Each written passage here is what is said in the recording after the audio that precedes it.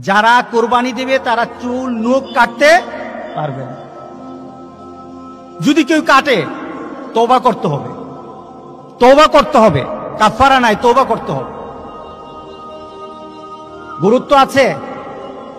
এখন আপনি জিজ্ঞাসা করবেন, হুজুর, দাড়ি কি কামানো যাবে কি না এখন দাড়ি তো হয়তো কুরবানির কারণে কাটলেন না। কিন্তু দাড়ি কি কুরবানির পরে কাটা যাবে নাকি? হ্যাঁ? এটা কখনোই কাটা যাবে না। চুলের ব্যাপারে বলা হয়েছে, দাড়ি তো প্রশ্নই আসে না। একজন মুমেন দাড়ি কামাতে পারে না। মোহাম্মদ সাল্লাহ সাল্লামকে ভালোবাসলে দাড়িতে হাত দেওয়া যাবে না।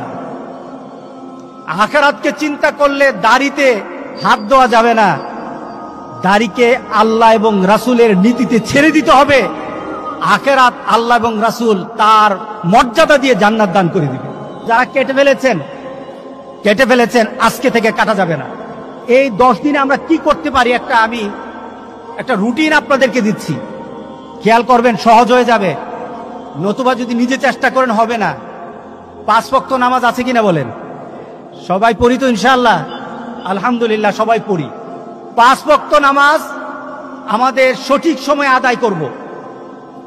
যদি আমাদেরকে সুযোগ হয় মসজিদে আসব। যদি সুযোগ না হয় বাড়িতে জামাতের সাথে ছেলেদেরকে নিয়ে পড়ব। পাঁচ ভক্ত নামাজ, ফরজ নামাজ ঠিক সময় আদায় করব। পাঁচ ভক্ত নামাজের মধ্যে সুন্নত আছে কিনা সুন্নতগুলি ঠিকভাবে আদায় করব। দেখুন, আপনাকে অতিরিক্ত আমল তো করতে হবে না। এই আমলগুলিকে একটু আন্তরিকতার সাথে করলেই কিন্তু এই দশ দিনের মর্যাদা আল্লাহ সুবাহ আমাদেরকে দান করে দিবেন। যে সুন্নতগুলি আছে নফলগুলি আছে একটাও ছাড়বো না। কি বলেন? রাজি আছি সবাই? আলহামদুলিল্লাহ। এবার আমাদের জন্য তাহাজুতের নামাজ মর্যাদার নফলের নামাজ আছে। কেউ পড়েন কেউ পড়েন না। কেউ বুঝেন কেউ বুঝেন না। কেউই মজা নিতে পারেন কেউ মজা নিতে পারেন না। তাহাজ্জুতের নামাজের মধ্যে যেই মজা আছে, পৃথিবীতে অন্য কোনো নফল নামাজে এত মজা নাই। কারণ আপনি যখন তাহাজ্জুতের নামাজ পড়ার জন্য দাঁড়িয়ে যান, আপনার পাশে কে আছে?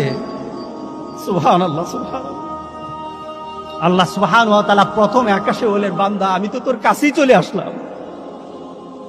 তাহাজ্জুতের নামাজগুলি আদায় করেন, আওয়াবিন পড়েন।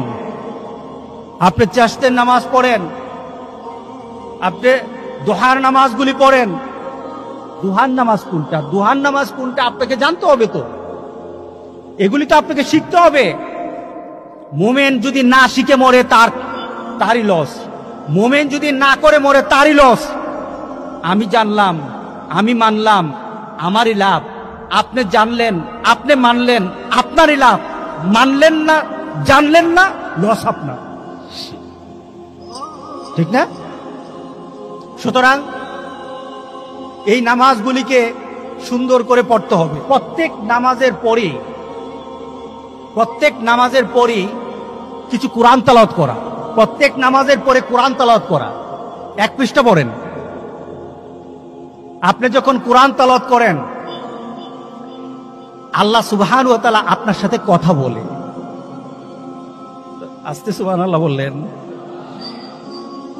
আপনি যখন কোরআন তালাওয়াত করেন, রব আপনার সাথে কথা বলে। কারণ আপনি যখন কোরআন তালাওয়াত করেন, এই কোরআনটা কার কোরআন? কথাগুলি কার? সুতরাং আমরা চাই আমার রব আমাদের সাথে কথা বলুক। ঠিক না? আপনি যখন একটা পৃষ্ঠা, এক পৃষ্ঠা করেও সালফে সালিহিনরা এই দশ দিনে গোটা কোরআন খতম করে ফেলত। সুতরাং আমাদের করা দরকার আছে কিনা বলেন? এখানে কোরআন শরীফ সবাই পড়তে পারেন? পারেন সবাই? ইনশাআল্লাহ বলি। সবাই কি করব?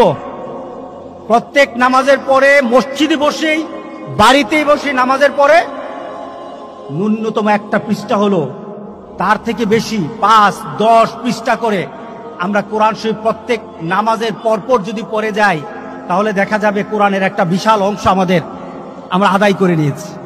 আল্লাহ যেন সুযোগ করে দেয়। এবার আমরা বেশি বেশি করে দুরুদ পড়ব। কি পড়ব বলেন? দুরুদ পড়ব।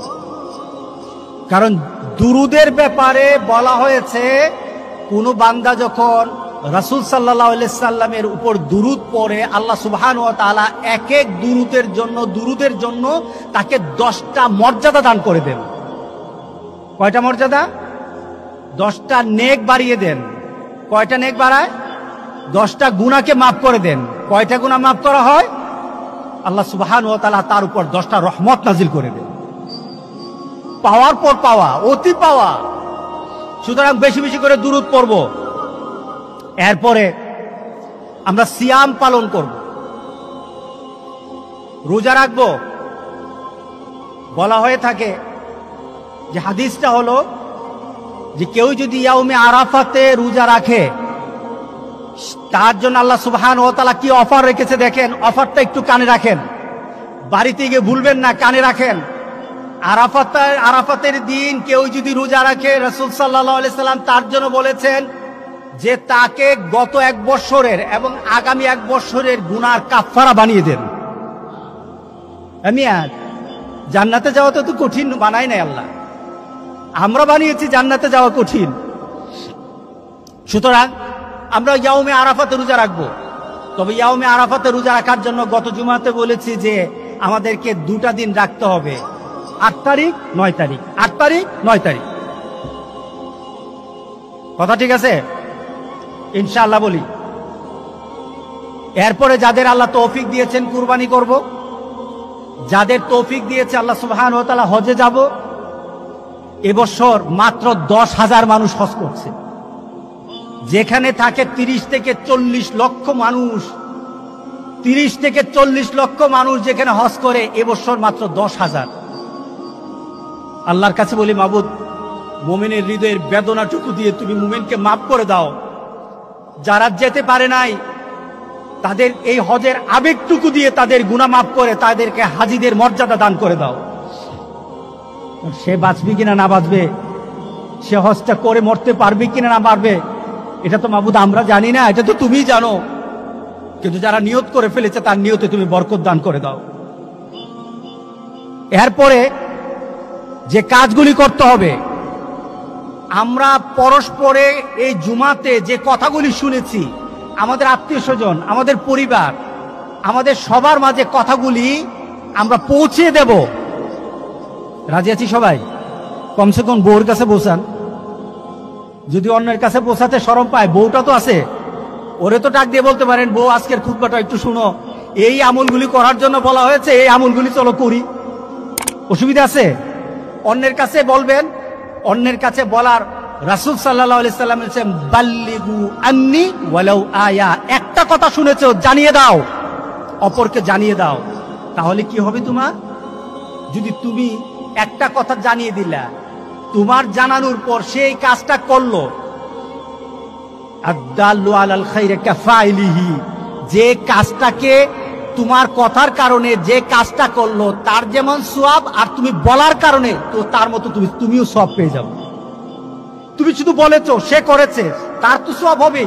আর তুমি যে বলেছ, তার কারণে তার পরিমাণ সব তোমাকে আল্লাহ দান করে দেবেন। তাহলে আমরা খুব চালাক হয়ে যাব।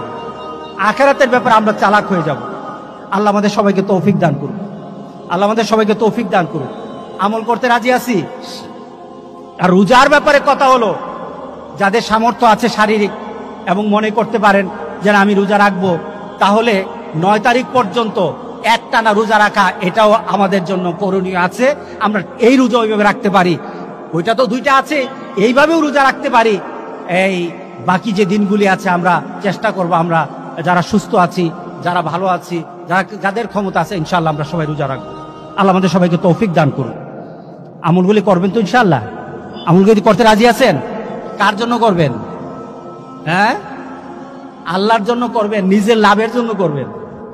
আল্লাহর জন্য তো করবেন, আল্লাহর উদ্দেশ্য করবেন, কিন্তু লাভটা কার? বলেন লাভটা কার? আপনি করবেন আপনার লাভ, আপনার নাই, লাভও নাই লাভও নাই। তবে সবচেয়ে ব্যথিত আমরা দুঃখিত হই। আমাদের এত অফার। উম্মতে মোহাম্মদীর এত অফার, কিন্তু সেই অফার উম্মতে মোহাম্মদী বুঝে না। উম্মতে মোহাম্মদী সেই অফারগুলি নেয় না। তাহলে বোঝা গেল উম্মতে মোহাম্মদী থেকে বুকা, যারা নেয় না, তাদের থেকে বুকা পৃথিবীতে আর কেউ হতে পারে না। আপনার পরিচয়, আপনার সম্পদ, আপনার পৃথিবীর কোনো অবস্থান নিয়ে আপনি মরে আপনার কবরকে কি আপনি সুন্দর করতে পারবেন? আপনার আখেরাতকে সুন্দর করতে পারবেন? সুতরাং আমরা ফকির হব না। আমরা চেষ্টা করে যাব। রাজি আছি তো সবাই ইনশাল্লাহ আমল নিজে করব, আমল ছড়িয়ে দেবো। আল্লাহ যেন সবাইকে তৌফিক